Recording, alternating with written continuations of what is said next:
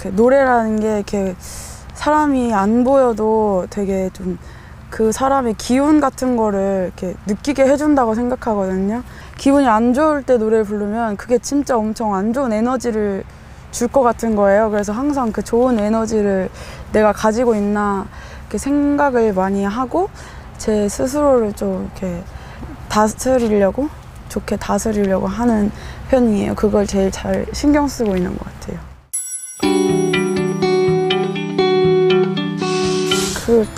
다른 거에서는 안 그런데 이렇게 작업할 때 노래 만들고 이런 작업을 할 때는 급하고 빨리 해야 되고 막 많이 해야 되고 이런 게 있어요.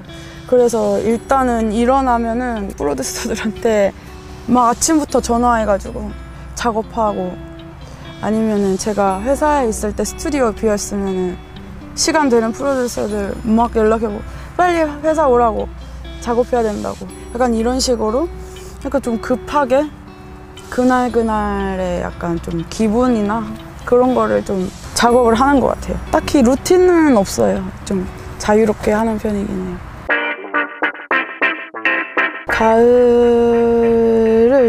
진짜 좋아해요. 뭔가 가을 하면은 멀리서 온 친척들도 보는 기분이고 기분이 괜히 상쾌해지고 좋아져서 친구들 오래된 친구들한테도 한 번 더 연락하게 되고 그 가을만의 색이 주황주황한 그런 색을 되게 좋아해서 음, 뭐 떠오르는 거라고 하면은 그냥 감?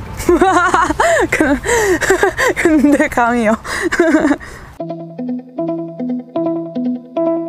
코로나 때문에 가을이 왔는지도 느낄 새도 없이 마스크도 쓰고 안에서 답답하게 보내시느라 힘드셨을 텐데 이 계절 라이브 보시면서 조금이나마 위로가 되셨으면 좋겠고요.